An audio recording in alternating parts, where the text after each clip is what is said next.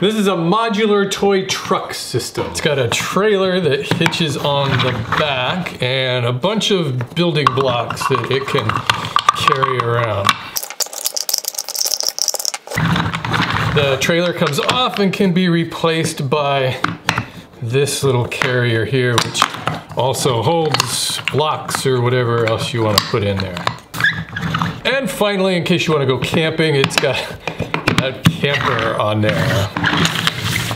But the best part is I was able to make all of this using a single 2x4 stud. One thing I want to point out when you're buying 2x4s to use for projects like this is get the ones that are labeled KDHT. That means it's kiln dried and heat treated. You'll notice because they'll be a little bit lighter than the green ones, which are really wet and really hard to work with, and they'll shrink and cause all sorts of problems for small projects like this. So basically, you just want to get the driest board you could find. I want to start by laminating together three pieces of this to make up the camper and the truck. And what I mean by laminating these together is just gluing the faces of all three of these together to form one big block. And the only important thing here is to look for the the nicest faces and keep those on the outside and put all the ugliness on the inside. So words to live by. This is Titebond 2 wood glue. When you're laminating boards together like this, the most important thing is that you've got that glue covering all of it. Don't leave any gaps.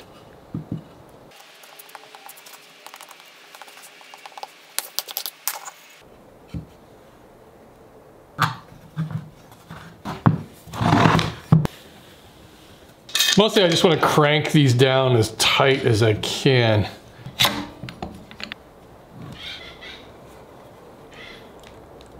And there it is, one big beefy chunk of wood. Now I'll square these up and trim them down a little bit.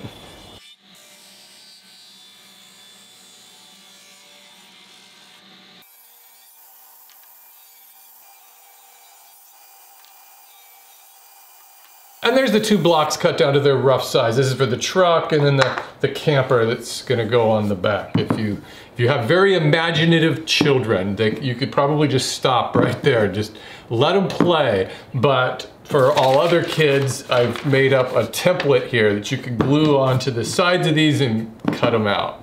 I attach these templates using a spray adhesive.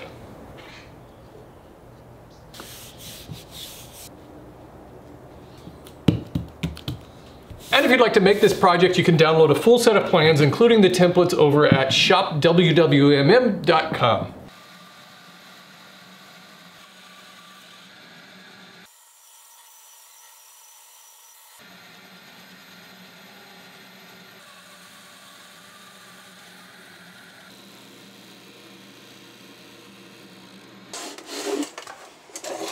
A long time ago, a viewer to the show sent me this spindle sander, and I, I, wasn't sure if I really needed one, but I've had it so many years now that I just love it. And so basically having both of these tools, the disc sander on the flip side and then the spindle sander, I'm able to sand inside curves using the spindle and then the outside curves using the disc sander.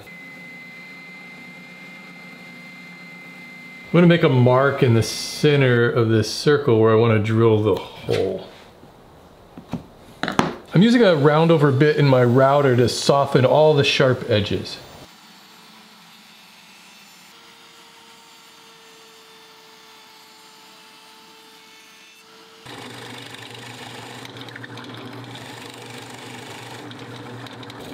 I'll drill a hole in the camper that I can glue a dowel into. Then I'll drill a hole in the bed of the truck that everything can attach to.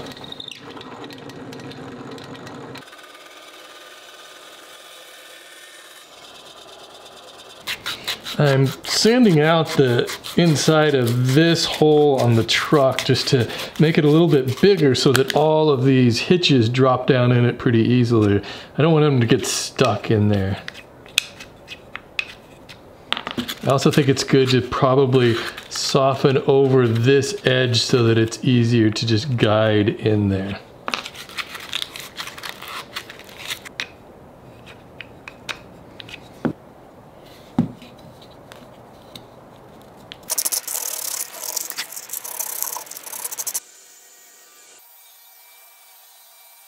You know what? I'm gonna move this back into the shop so it's not so blindingly bright. There. Oh, you just name another YouTuber that'll go that extra mile for you. I'm gonna make the trailer using half inch wood, which means I need to resaw this into half inch pieces, which is why I've set my rip fence here a half inch from the blade. What I wanna do though is set up this feather board. This is my homemade feather board. I have free plans for this, by the way, over at myshopjigs.com. There's a whole bunch of shop jigs you can download over there. Uh, anyways, I want that to provide some pressure against the side of this board just to keep it up against the fence so it won't tip over. You can also download plans for this sacrificial push block, which is really handy for just this use because I can run it right over the blade and it's got a cleat in the back here to help me push the stock through the blade.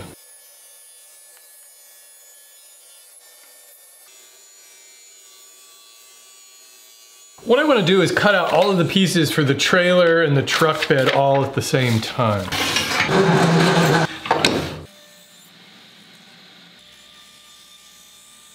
I've set up a stack of dado blades in my table saw along with a sacrificial fence so that I can cut out rabbets along the edges of these pieces.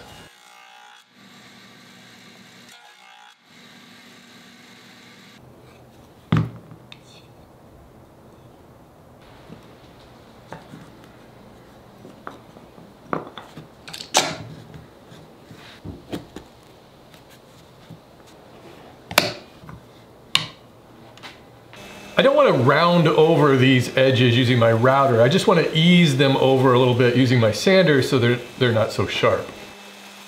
I'm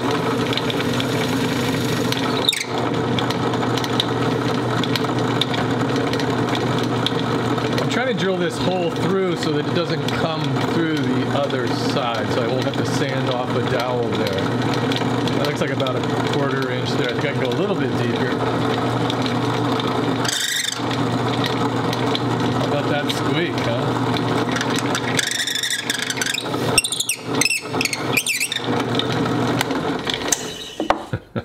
All right, look at that.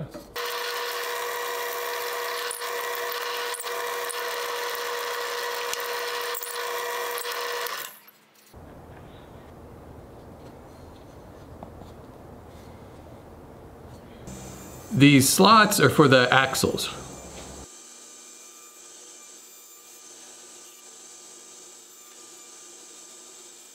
I cut out this block here with a couple of slots for the back wheels of the trailer. I'll just glue it into place. It can be a little tricky resawing wood this thin on the table saw. You might want to try the bandsaw. Or if you're uncomfortable with either of those, just get a thin piece of plywood and use that instead. Okay, time for some real talk. We need to talk about wheels. Toy wheels are just one of those things where I just think it just makes more sense to just buy. These are uh, inch and a quarter wheels. They have a little quarter inch hole already in them. You can get a package of these real inexpensively on Amazon.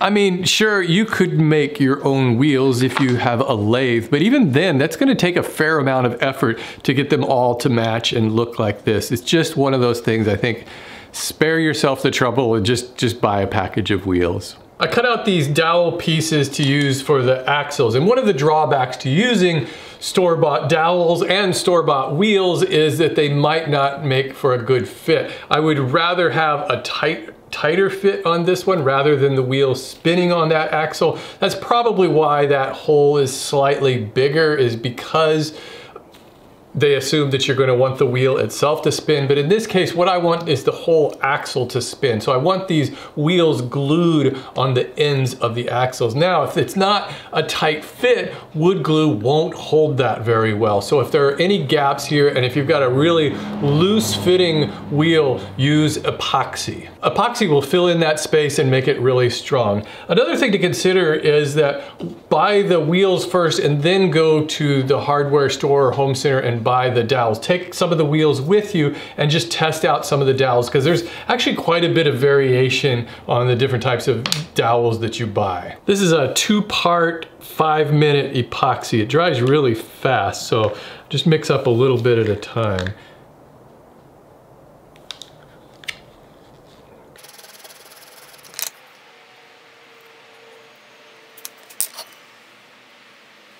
So I'm just gonna set it in here so that I can see how far in to press the wheel.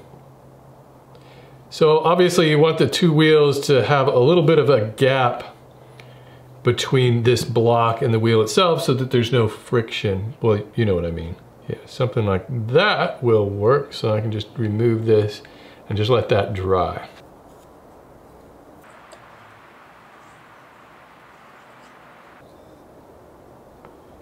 There, and then just save whatever's left and you can make an epoxy river table with it.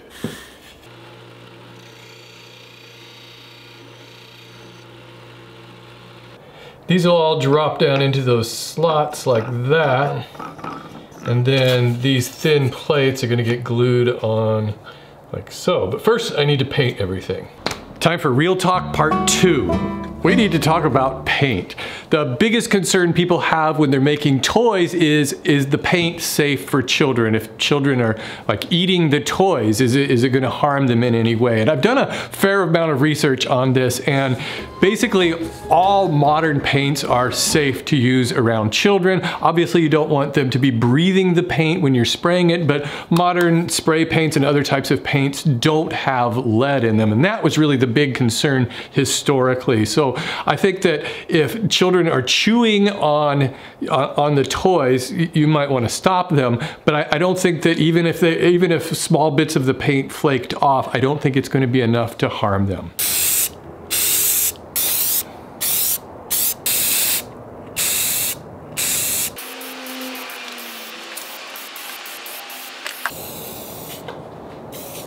And seriously, what truck wouldn't be better with purple wheels? Real quick spray painting tip. After you've sprayed on a couple of coats of paint, let it dry overnight and then hit the entire piece with like 320 or 220 grit sandpaper, a fine sandpaper, and just smooth it all out and then apply the final coat. That will make the entire finish really nice and smooth. And believe it or not, after all of that, I still have a little over two feet of that two by four left, as well as some other scrap. So what I can do is cut this up into some building blocks that the truck can carry around.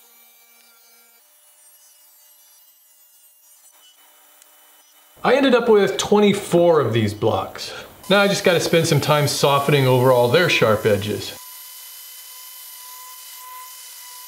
So to glue these plates in place, I'm gonna use this Weldbond glue. It works really well on painted surfaces where wood glue won't hold as well. The main thing here is I just wanna make sure that I don't get the glue on those axles.